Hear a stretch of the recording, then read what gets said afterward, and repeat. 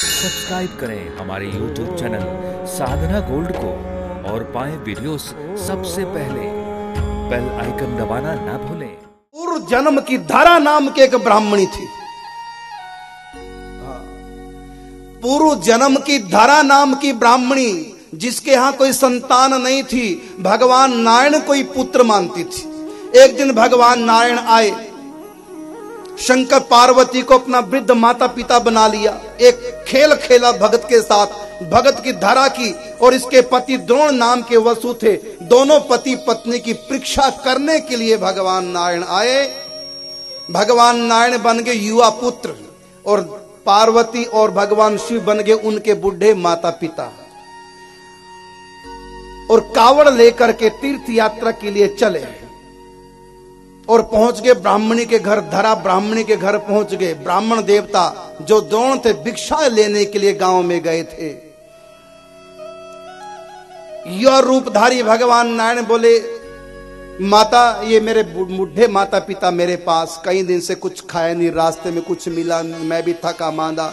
आपके यहाँ थोड़ा विश्राम करना चाहता हूँ मेरे माता पिता को भूख लगी, तीन दिन से कुछ खाया नहीं, कुछ खाओ। खाने को दे दो। वो धरा नाम की ब्राह्मणी बोली कि, बेटा, हमारे यहाँ कोई संग्रह तो कुछ होता नहीं। मेरे पति जो लाते हैं, उसी को रसोई बना करके ठाकुर जी को भोग लगाकर हम दोनों पा लेते हैं। इस समय घर में संग्रह में कुछ नहीं। मैं क्या आपके लिए बनाऊँ रसोई में? बस थोड़ा रुक जाओ। मेरे पति भिक्षा लेने गए। जो भी लेके आएँगे, मैं आपको पुआऊँगा। भगवान ने खेल किया, जिससे कि उनके पति आए ना। एक रूप और भगवान ने बना लिया। रास्ते में उसके पति को मिले, बातों में लगा लिया। आने ही नहीं दिया। एक प्रहर बीत गया। तीन घंटे बीत गए। भगवान नारायण बोले, धरा ब्राह्मणी से कि माता, कोई बात नहीं, हम दूसरे घर चले जाते हैं भिक्षा मांगने। ना बेटा, मेरे घर से आज तो कोई भूखा नहीं गया। बस आते ही होंगे, न जाने क्यों नहीं आए। इतना समय तो कभी नहीं लगाते। नहीं, अब हम जा रहे हैं। भूखे तुम्हारे घर से दूसरे के घर में भिक्षा मांग लेंगे। अच्छा रुको, अभी मैं पास की दुकान से ले आती हूँ, उधार सामान। भोजन करा के भेजूँगी, भूखा नहीं भेजूँगी। पास की दुकान में बनिया का लड़का बैठा था दुकान पे। ये युवा थी, ब्राह्मणी। बनिए की दुकान पे बनिया बैठा और बोली कि मेरे घर में कुछ नहीं, मेहमान आए हैं, पति अब तक आए नहीं, भिक्षा करने गए। आप मुझको आटा, सीधा सामान कुछ दे दो, मैं जिससे कि रसोई बना लू। पूरी बात बताई। और मेरे पास इस समय कुछ है नहीं। तो कहा कि तुम्हारे पास सब कुछ, मैं अपने आप ही चुकता कर दूँगा। मुझको चाहिए तुम्हारा प्यार, इशारे से बोला। ब्राह्मणी ने ध्यान ही नहीं दिया, बस इतना ध्यान दिया कि इन्होंने स्वीकार कर लिया। देने के लिए सामान। उसने तोला सामान दे दिया। जब वो पोटली बाँध करके लगे चलने, उसका हाथ पकड़ लिया, कहाँ जा रही हो? पहले सामान का मोल दो, और मोल क्या है? प्यार। वासना। उनकी छाती के ऊपर हाथ धर दिया। यह कीमत है इस सामान की। वो तो हक्की बक्की रहेगी अब लगा पता कि इसके मन में बुरी भावना आ गई।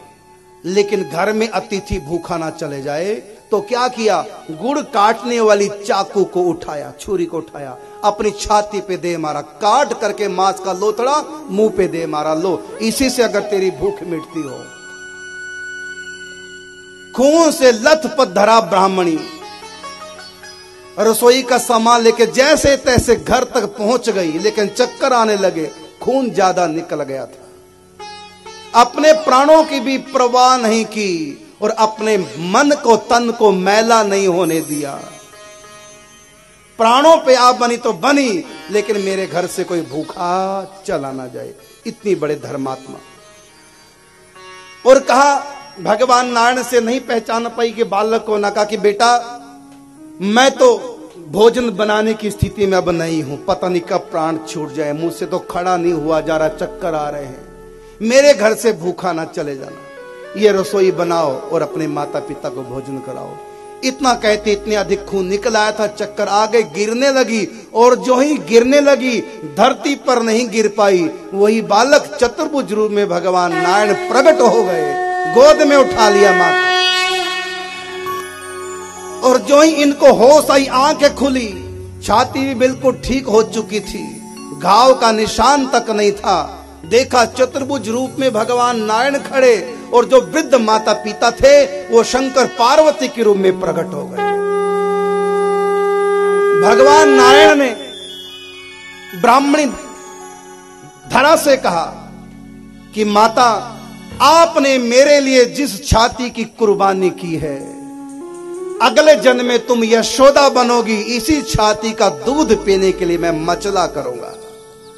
बड़े बड़े ऋषि, जिनको मेरे चरणों का भी स्पर्श प्राप्त नहीं होता, और तुम मुझको पूरा गोद में लेकर के लाड़ प्यार करोगे।